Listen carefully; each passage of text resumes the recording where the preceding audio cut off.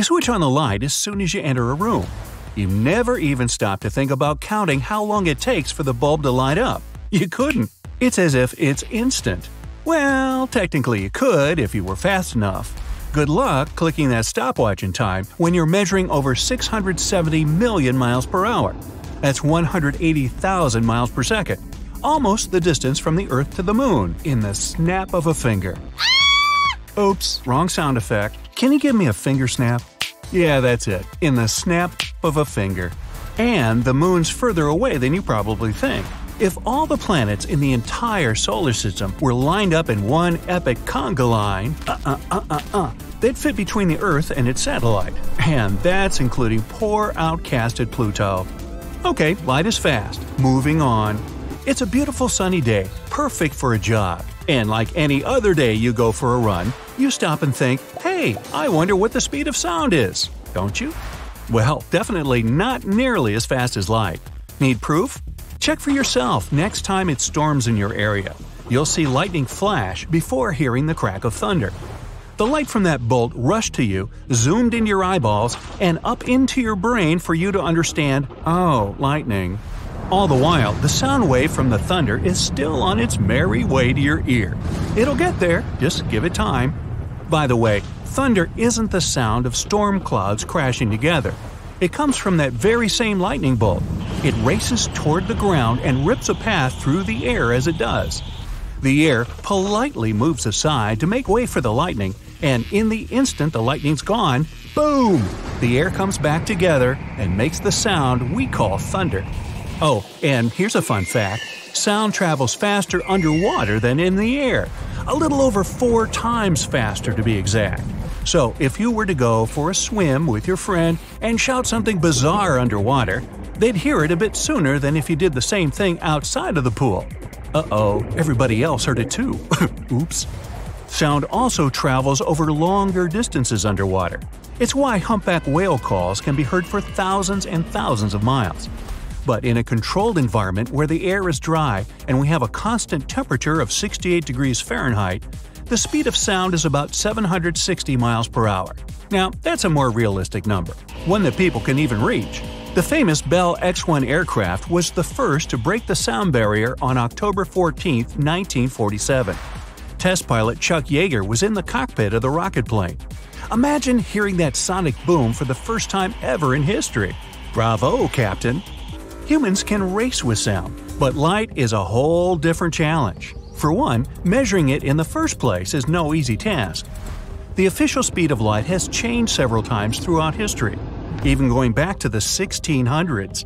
After centuries of debate and experiments with different results, the scientific community finally settled the matter in 1983. Uh, maybe. To measure the speed of anything, you'll need to know two things the distance between point A and B, and the time it takes for an object to travel between those points.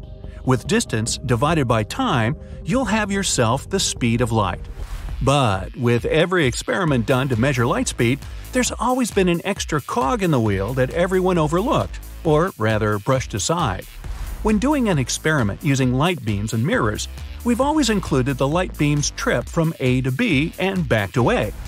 With equal speed and equal distance, we have ourselves a controlled experiment and conclude an official speed number for the books. Case closed. Let's celebrate! Eh, not so fast.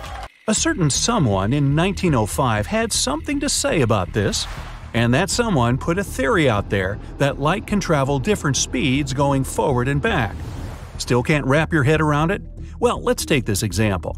You had a long day. You pulled an all nighter at work and can't wait to sink into your comfy warm bed. You get on a bus and head home. The night's clear and there's zero traffic on the road. Before the wheels on the bus can even go round and round, you immediately conk out in the back seat. But right before that, you checked the clock and saw it's exactly 10 p.m. what? After a big bump on the road jolts you awake, you become aware of your surroundings. But you suddenly find yourself in the exact same spot as the moment before you fell asleep. That was a quick nap. But then you look at your watch and it's now 11 p.m. You fell asleep in the bus and missed your stop. You'll have to repeat the exact same route all over again. Bummer. What can you determine from this? Since the whole ordeal took you an hour, you can assume it took exactly 30 minutes from the bus stop to reach your house and another half hour from your house back to the bus stop. Sounds logical, right? In our physical bodies, such a conclusion makes perfect sense. But it was Albert Einstein who challenged this idea.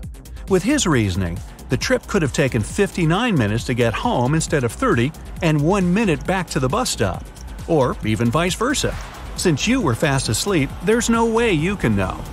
And this idea is what's keeping scientists and physicists up all night throughout the decades. When you get into light speed in space, then the mind blowing stuff starts happening. It takes approximately 8 minutes for light to reach Earth from the Sun. So, light is super slow in space? Eh, not really. Now we're talking unimaginable distances. It takes 8 minutes for our sun's light to travel over 90 million miles to our planet. That's something to think about when going to the beach. The sunlight that made your tan lines traveled so far across our solar system to reach your skin. Ah, how thoughtful. And you can get sunburnt even on a cloudy day. That's how powerful our star is. Now, imagine yourself living on Pluto. I know, I know its planet membership got revoked in 06, but hey, call me old school. Our former furthest planet from the Sun is so far away, it takes five and a half hours for sunlight to get there. No wonder it's always cold. The first planet in line is Mercury. The Sun's rays reach it in a mere three minutes.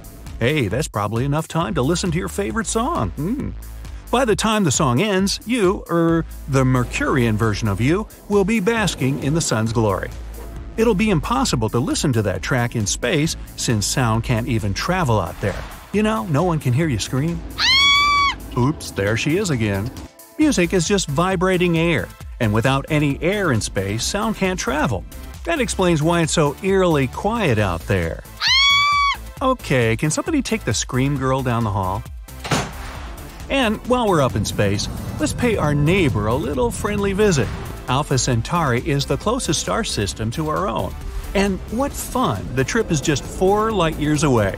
Uh, that's 25 trillion miles and 137,000 years on the road. Yeah, don't forget to pack a big lunch. To put all that in perspective, it would take around 5,000 generations in a super shuttle traveling through empty vast space to complete the journey, and we won't be able to come close to the star. Oh, and that's just one way. Okay, I think I'd rather come back to Earth now. Whew, that's better. Now, the longing question how can we measure the speed of light without that little dilemma about the return trip? Oh, I got it. Why don't we just measure the speed with a super high tech camera and map it out frame by frame until we're able to write down its speed? Well, nothing's as easy as it seems in the world of physics. Because when filming the light through a lens, we're not seeing the light itself, but rather a reflection of it. We just circled back to square one. Okay, scratch that plan. Then how can we prove light is going the same speed to its destination as its reflection is back to point A?